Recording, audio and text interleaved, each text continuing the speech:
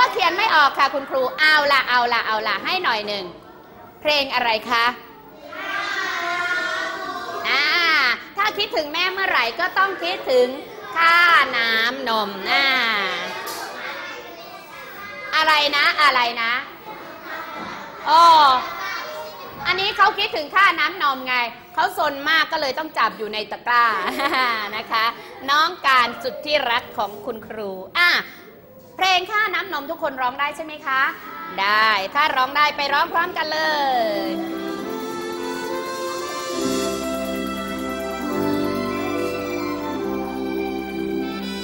ร้องให้ไพเราะคิดถึงคุณแม่ด้วย นึกถึงแม่ของฉันด้วย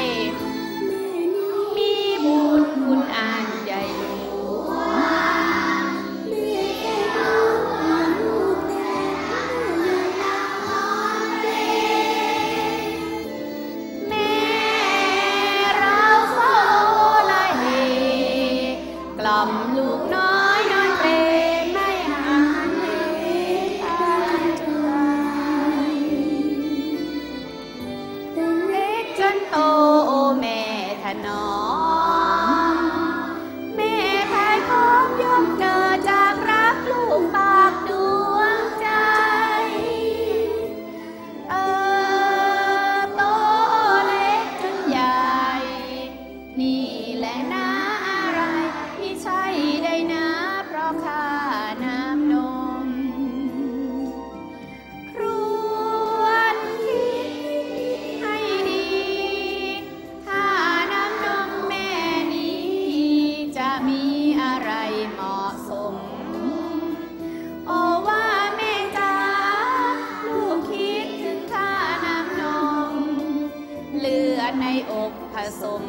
กลั่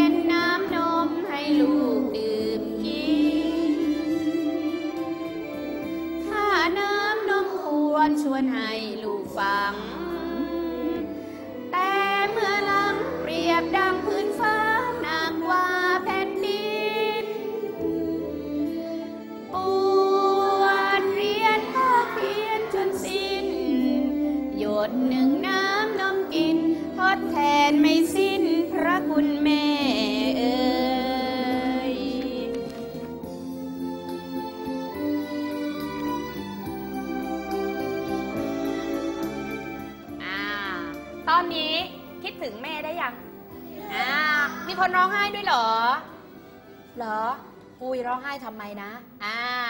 อะเราเก็บเพลงนี้ไว้ก่อน พรุ่งนี้เรามาร้องกันต่อ ที่สำคัญวันนี้ ก่อนที่เราจะไปเขียนคุณครูมีตัวอย่างแน่นี่ คุณครูไม่ชอบสอนเรื่องอะไรที่มันไกลตัวอ่านะคะ ดังนั้นวันนี้น้องกิ่งบอกว่าคุณแม่ขาเดี๋ยวน้องกิ่งจะเขียนเรื่องจินตนาการให้คุณแม่ แล้วให้พี่ๆ ได้อ่านเองค่ะ นี่นะคะ อันนี้คุณแม่มิ้งคนสวยกับน้องกิ่งนะคะ จะน้องกิ่งจะเขียนเรื่องแม่ของฉัน โดยการเขียนตามจินตนาการของนักเรียน ซึ่งนักเรียนดูตัวอย่างอ่านตัวอย่างฟังตัวอย่างแล้ววันนี้ต้องกลับไปเขียนที่บ้าน เพราะงานเขียนจะใช้เวลาเขียนในช่วงแป๊บเดียวไม่ได้ ที่สำคัญต้องใช้อะไรคะ ใช้ความคิดเงียบๆอยู่คนเดียวงานถึงจะเกิดออกมาได้ดีอะน้องกิ่งบอกว่า แม่ของฉัน ฟังค่ะ แม่ของฉันเป็นผู้หญิงตัวเล็กๆ ที่มีใบหน้าสวยงาม จริงปะตาโตค่อนข้างดุ แต่ท่านเป็นคนเก่ง ฉลาด คล่องแคล่ว น่ารัก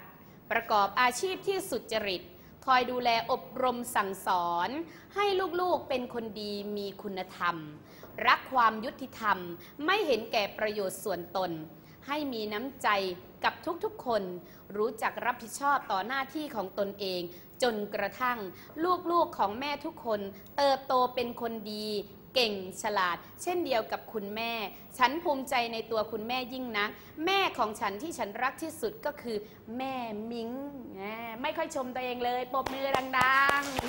ๆ เขียนได้ไหมคะอ่าเขียนได้ยากไหมเอ่ย ไม่ยากอะอยากอ่านเองไหมเพื่อจะได้จดจำ อ่านไหมอ้าวอ่านอีกครั้งอ้าวอ่านเองนั่งตัวตรง อันนี้เป็นแม่ของน้องกิ่งนะ เป็นเรื่องจินตนาการของน้องกิ่งว่าแม่ของเขาเป็นอย่างเนี้ยไม่รู้จริงหรือไม่จริง แต่ว่าเขาก็เขียนออกมาในลักษณะอย่างนี้ แม่ของฉัน แม่ของฉันก็คือตัวของเราเอง เป็นชั้นไรเราก็ไปเขียนแต่ว่าจะเขียนแบบไหนแม่ของทุกคนเหมือนกันไหมคะ ไม่เหมือนแม่ของบางคนเป็นนางฟ้า ใจดี ลูกอยากได้อะไรให้หมดเลยอะ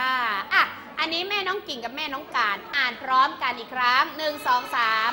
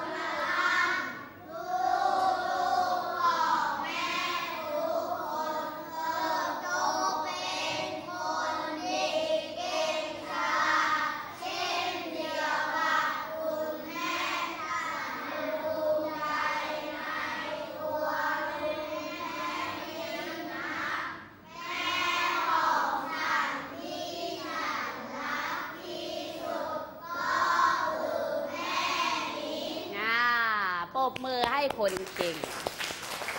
ทุกคนมีแม่อ่านะคะ ทุกคนมีแม่ วันนี้คุณครูจะให้ทุกคนนั้น กลับไปเขียนจินตนาการนะคะ เรื่อง เรื่องอะไรคะ เรื่องแม่ของฉันนะนะคะ ไปเขียนเองคิดเองตามจินตนาการ เขียนได้ตามอิสระนะคะ อ้าว วันนี้คุณครูบอกว่าให้เด็กๆทำอะไรนะ นักเรียนเขียนเรื่องตามจินตนาการเรื่องแม่ของฉันนะคะนักเรียนคะเขียนไว้ตรงไหน เขียนลงในกระดาษ A4 ใช่ไหมอะทุกคนฟังครูมิ้งเราเหลือเวลาอีกประมาณ 2 นาที ฟังนะคะ งานเขียนชิ้นนี้เขียนเสร็จเราจะต้องเอาไปให้คุณแม่ ในวันแม่แห่งชาติ วันที่เท่าไหร่ วันที่ 12 วันศุกร์ใช่ไหมคะ ที่จะถึงนี้ ดังนั้นเด็กๆมีรูปแม่กับตัวเองไหมอะไหนใครไม่มียกมือลูก ไม่มีไม่เป็นไร มีรูปแม่คนเดียวไหม ไม่มี ถ้าใครไม่มี บางคนบอกว่าครูขาหนูไม่เคยเจอหน้าแม่เลยหนูไม่มีเลย ไม่เป็นไร อยู่กับคุณยายก็เอารูปเรากับคุณยาย อยู่กับคุณย่าก็เอารูปเรากับคุณย่า อยู่กับคุณป้าก็เอารูปคุณป้า เดี๋ยวตอนบ่ายคุณครูจะมาให้ดูตัวอย่างว่าจะทำอย่างไร ที่สำคัญงานเขียนไม่ใช่อยู่ๆก็คือ เขียนลงไปเลย ฟังนะคะ งานเขียนจะต้องมีการร่างลองเขียนก่อน แม่ของฉัน แม่ของฉันชื่อว่า แม่ แม่นุชแม่ของฉันชื่อว่าแม่ไก่อยู่ในตะกร้าเอาไม่ใช่ ชื่อว่าแม่ไก่ แม่ไก่เป็นคนดี เป็นคนน่ารัก ใครๆก็รักแม่ไก่ เพราะแม่ไก่มีน้ำใจสุดประเสริฐอะไรก็ว่าไปเข้าใจไหมคะ เขียนเสร็จแล้วถ้ามันไม่ดีแก้ไขใหม่ จนสุดท้ายงานชิ้นนี้ดีที่สุด จึงนำไปเขียนลงในกระดาษร้อยปอนด์พับครึ่ง ด้านหน้าติดภาพเรากับแม่ ด้านในเขียนเรื่องราวของเรากับแม่ เข้าใจไหมคะ เดี๋ยวบ่ายคุณครูมีตัวอย่างให้ พบกันบ่ายอีกครั้งหนึ่งสำหรับชั่วโมงนี้ อย่าลืมรักตัวเองมากๆ เพื่อคุณแม่ อย่าลืมรักคุณแม่มากๆ เพื่อตัวเองค่ะสำหรับชั่วโมงนี้ขอทุกคนโชคดี สวัสดีค่ะ